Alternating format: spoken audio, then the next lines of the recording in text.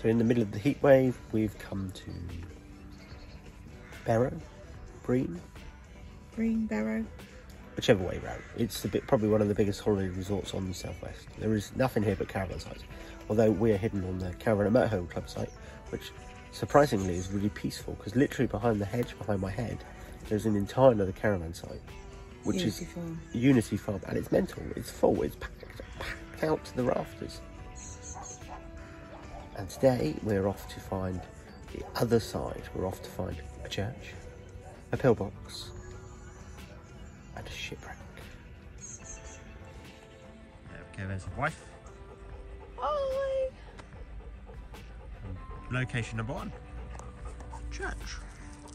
St Mary's Church in Berrow. Somewhere there is a war grave in here, which will match in with our theme of hunting for ships and pillboxes and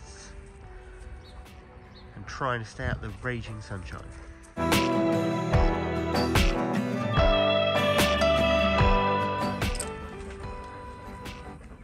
Gorgeous stained glass windows. Quite serene considering the main road is 30 yards that way. In probably one of the busiest holiday resorts in the southwest. And we've got the most serene church. We're up that little sandy path over there.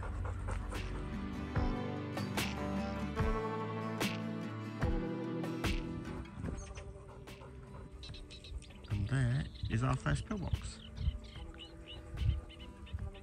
We daren't go across and do it because we'll get smacked in the head by golf balls at the minute because there's millions of people playing golf. So we're not going to venture across, we're going to stick to the path and carry on that way. Down there, off to find our shipwreck. There she is, up there somewhere. She is there. Can't see her anymore, she's gone, she's run away. We're cutting through the golf course, off to find a boat. Or shipwreck anyway. However, we don't really know which way we're going yet. It's all good fun. And to the beach. Michelle's going to fall down the sand. I'm going to get loads of sand in my Crocs. Because it was sensible attire for walking.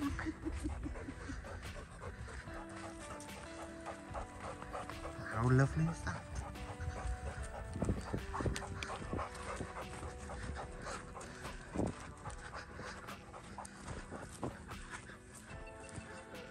Um, what we're going to be looking at, I've no idea. Don't actually know. And there is our shipwreck, all the way over there somewhere. That's where we're going. There's me taking it for a cultural day out, to see a shipwreck. And all I've got from behind me is moaning that apparently the beach, yeah, it's a beach. Apparently the beach is wet because the sand is wet. Well, we are just round the corner from Weston-super-Mare, equally known as Western on the Mud, and Michelle is surprised that walking down an estuary bed is muddy. But we are off to see the shipwreck. Bless us, Normandy. Absolutely no idea of significance apart from it's beached here. It's slowly rotted away here for years and years and years. And we get to almost go and clamber inside of it. And the free option here is don't let the dog lick things up from the seawater because he's about to throw up everywhere. Actually from here you can make out the perfect outline of the boat. Literally it's just where it's grounded, it's rotted away. Obviously being reclaimed by the sea, that's the way to look at it, isn't it? It's been reclaimed by the sea. But yeah, absolutely stunning. Just entire ship. Just here in the middle of the beach. Ah. so we know we said this was definitely pretty much a mud flat. Well, there's the evidence. It's like clay all over my shoes. Don't Crocs actually might have turned out to be a really good idea because at least it's going to be easy to wash off. Whereas with Michelle's trainers, I fear not. It might only be an estuary beach, but it is quite stunning, isn't it? It is. It goes on for miles, doesn't it? Lovely. Building with Grammy. Building a wigwam, some kids have had some fun. But it goes on for miles. It goes all the way down to Brean Down Fort or wherever there. It's a bit far today because it's probably a 10 mile round trip from here. Much of him today. It's a bit hot. It's still 25 degrees. It's cloudier, but it's still 25 degrees, which for England, very silly temperature. So this is the local farm shop. Michelle has gone inside to see if we can acquire some cold beverages for the dog. Maybe even a doggy ice cream, you never know your luck. Strange to have Marshfield stuff outside, so you never know your luck. But yeah, big garden centre really. Uh, little nursery, lots of bedding plants. But equally, local scrumpy cider. Bentley's having a scooped doggy ice cream after his walk on the beach. And I think he's thoroughly enjoying that. Isn't he, buddy? Hey? Yeah. It's all a bit hot, isn't it?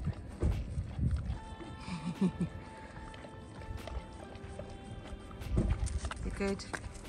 You the cotton now. Oh, Bentley.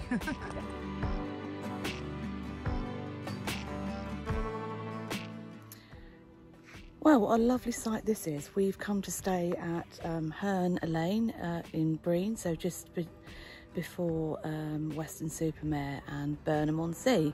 Fabulous site. As you can see, it's a really narrow entrance on the way through, so you can understand why their arrival times are strictly one o'clock.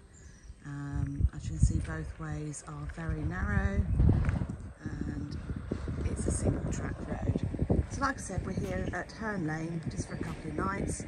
It's uh, Wednesday the 13th of July and it's a Scorchio morning. So when you arrive, you get pulled into here, met by one of the wardens who then guide you through into reception. As you can see, they do have late night arrivals with electric hookup. Uh, they have, do have strict arrival times, which is really good. Okay, as you can see, coming up now to the entrance. Warden's picture inside here.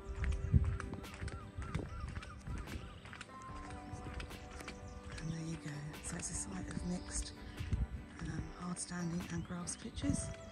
And that's the reception block there. And further down there, there is the one of the facility buildings. There are two on site. A quick wander around. Like I say, mix of hard standing and grass pitches. When we arrived a couple of days ago, we were going to go on the grass. Due to the high temperatures, we did find a hard standing pitch which had some trees on it, so afforded us a bit of shade. But beautiful site, very well kept. Very friendly. Okay. And around to this side. And as you can see up there is their very own pillbox, which you'll see on another part of the video.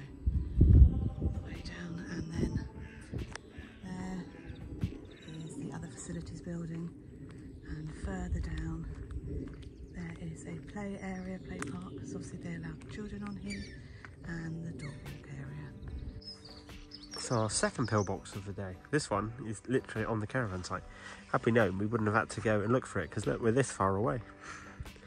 We just found it on the map and thought, oh, we'll go have a look. And yep, they fenced it in. It's all pretty. So this is the grass area. He's got the grass pitches in. And, uh, then, the- fully service pictures. and then Michelle says these are the fully serviced. Oh yeah, because they got the red markers. So these are the fully serviced ones down this side.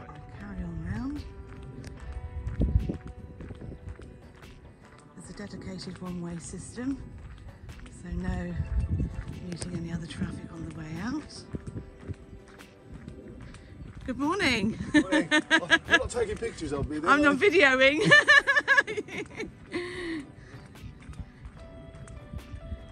As you can see, lots of no entry signs. You do have to follow the dedicated one-way system.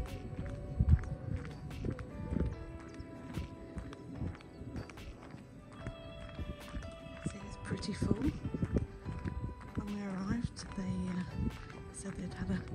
Influx of bookings due to the good weather and it's certainly been really lovely.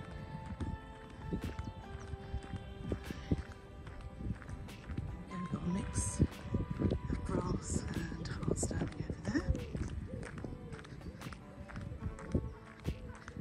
I think there are about eight or nine fully serviced pitches, um, and there are three pitches that they class as hard standing with no awning, so they are the slightly smaller ones, but there's only three of those.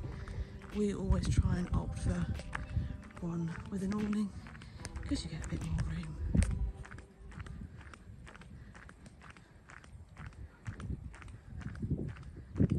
Like I said, it's quite quiet outside because it is only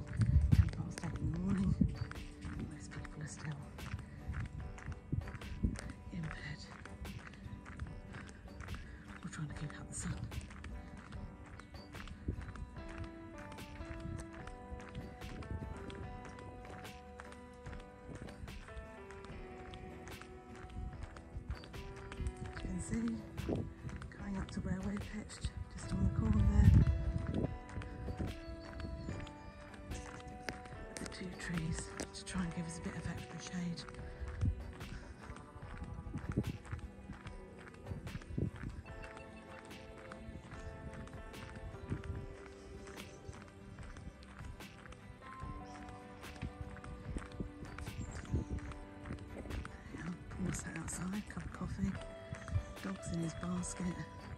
He's really feeling the heat this time. And as you can see, pictures are absolutely massive. What a wonderful place.